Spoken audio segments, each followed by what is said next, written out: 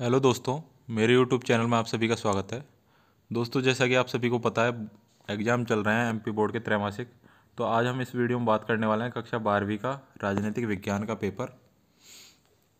तो आप देख सकते हैं, समय ढाई घंटे, पूर्णांक अस्सी निर्देश दे रखे हैं आपके सामने, जिसमें है क्वेश्चन नंबर वन से फाइव तक, प्रत्येक एक नंबर का है, दो नंबर के अंक हैं, प्रश्न दस आप ये निर्देश पढ़ सकते हैं। दोस्तों, इस वीडियो में हम आपको क्वेश्चन भी बताएँगे और उनके आंसर भी बताएँगे तो टेंशन लेने की ज़रूरत नहीं है। तो बने रहें अंत तक वीडियो में। तो आइए स्टार्ट करते हैं। स्वतंत्रता के समय भारत में कुल कितनी रियासतें थी? तो इसका आंसर है फाइव सिक्सटी टू पाँच सौ बासठ रियासतें थी। आंसर सी नेक्स्ट क्वेश्चन है, सार की स्थापना किस वर्ष हुई? तो दोस्तों, सार की स्थापना हुई थी। इसका आंसर है उन्नीस में। उन्नीस में सार की स्थापना हुई थी। नेक्स्ट क्वेश्चन है, ऑपरेशन जिब्रालेटर निम्नलिखित में से किससे संबंधित है? आपके ऑप्शन है भारत, पाकिस्तान, भारत सिंह, भारत, नेपाल, भारत, श्रीलंका। तो इसका जो आंसर रहेगा, वो रहेगा भारत, पाक, भारत, पाकिस्तान से। नेक्स्ट क्वेश्चन है, संयुक्त राष्ट्र के ध्वज की पृष्ठभूमि किस रंग की है? तो वह है नीले रंग की। नेक्स्ट क्वेश्चन है, भूमंडलीकरण है तो इसका जो आंसर है वह है विश्व का मंडलीकरण नेक्स्ट क्वेश्चन है रिक्त स्थानों की पूर्ति कीजिए। आपको कुछ क्वेश्चन मिलेंगे उनके रिक्त स्थान बढ़ने हैं आपको। तो पहला क्वेश्चन है गुट निरपेक्ष शिखर सम्मेलन में भाग लेते हैं। तो इसमें भाग लेते हैं दे, देशों के विदेश मंत्री।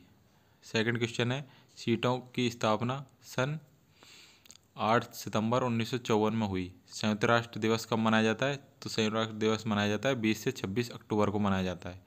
आधुनिकरण की पहली शर्त क्या है? तो आधुनिकरण की पहली शर्त है परिवर्तन। व्यक्ति की स्वतंत्रता को कौन बाधित करती है? निरक्षरता। आगे बढ़ते हैं। एक शब्द या एक वाक्य में उत्तर देने हैं आपको। तो पहला क्वेश्चन देख सकते हैं भारत विश्व में किस प्रकार का सदस्य है? तो आगे बढ़ने से पहले आप सभी से रिक्वेस्ट है कि जिन्होंने अभी तक चैनल को सब्सक्राइब नहीं किया प्लीज़ सब्सक्राइब कर लें और नोटिफिकेशन बेल को ऑन कर लें, जिससे आपको हर वीडियो की अपडेट मिलती रहे। क्वेश्चन टू है, नेपाल में किस क्षेत्रीय संगठन का मुख्यालय स्थित है? तीसरा क्वेश्चन है, संयुक्त राष्ट्र संघ का हृदय किसे कहा जाता है? चौथा क्वेश्चन है, वैश्वीकरण को किस नाम से जाना जाता है? और पाँचवा क्वेश्चन है पी का पूरा नाम क्या है? तो पहले क्वेश्चन का आंसर है, भारत विश्व बैंक में किसका सदस्य, किस प्रकार सदस्य है? मौलिक सदस्य है। सेकंड क्वेश्चन है, नेपाल में किस क्षेत्रीय संगठन का मुख्यालय तो वह है सार्क का। संयुक्त राष्ट्र संघ का हृदय किसे कहा जाता है? वह कहा जाता है सुरक्षा परिषद को। वैश्वीकरण को किस नाम से जाना जाता है? तो वह जाना जाता है भूमंडलीकरण के नाम से, और पीडब्ल्यूजी का पूरा नाम है people bar group. Next question है, आज़ाद आज़ाद कश्मीर क्या है? क्वेश्चन नंबर फाइव है किन किन देशों की रियासतों के विलय को लेकर समस्या पैदा हुई? क्वेश्चन नंबर सिक्स है, शरणार्थियों के लिए कौन सी दो समस्या सबसे महत्वपूर्ण थी। क्वेश्चन नंबर सेवन है, भारत में पहली सैन्य टुकड़ी कब कश्मीर भेजी थी? एट क्वेश्चन है, संवैधानिक सलाहकार कौन थे? नाइन्थ क्वेश्चन है संविधान की कुंजी किसे कहते हैं? टेंथ है, यूरोपीय संघ के कोई दो उद्देश्य बताइए। प्रश्न नंबर ग्यारह, गुट निरपेक्षता का क्या अर्थ है। प्रश्न नंबर बारह, शिमला समझौता के कोई दो प्रावधान बताइए। और थर्टीन क्वेश्चन है, कच्छ टीपू टापू कहाँ स्थित है?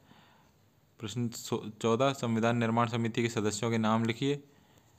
प्रश्न पंद्रह है, संविधान निर्माण की तीन आवश्यकताएँ लिखिए। सोलवा क्वेश्चन है भारतीय संविधान में वर्णित मौलिक अधिकार व मौलिक कर्तव्य लिखिए। तो इसका आंसर देख लेते हैं। भारत नागरिकों के मौलिक अधिकार से आज उन अधिकारों से होता है जो मनुष्य व्यक्तित्व विकास के लिए आवश्यक होते हैं तथा हम इसके लिए न्याय के, एक ही शरण लेते हैं। मौलिक अधिकार इस प्रकार हैं। समानता का अधिकार स्वतंत्रता का अधिकार और इसके बारे में आप पूरी डिटेल में पढ़ सकते हैं और इनको लिख लीजिए या फिर स्क्रीनशॉट ले लीजिए जिससे आपको हर वीडियो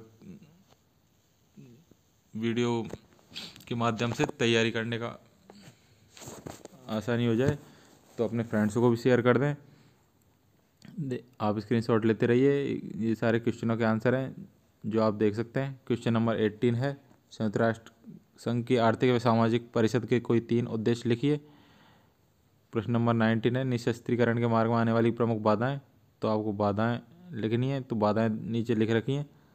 शास्त्रीकरण में राष्ट्रों का विश्वास, हथियारों के अनुदान में सहमति न मिल, बन पाना, राष्ट्रों के बीच अविश्वास, इनके बारे में डिटेल से लिखा हुआ है, आप स्क्रीन ले सकते हैं और इन सब के बारे में ढंग से याद कर सकते हैं। दोस्तों, ये कुछ इंपॉर्टेंट क्वेश्चन थे जो आपके एग्ज़ाम में आ सकते हैं तो आप इन्हें रट लीजिए और जिन्होंने अभी तक हमारे चैनल को सब्सक्राइब नहीं किया प्लीज़ सब्सक्राइब कर लें और नोटिफिकेशन बेल को ऑन कर लें, जिससे आपको हर वीडियो की अपडेट टाइम से मिलती रहे।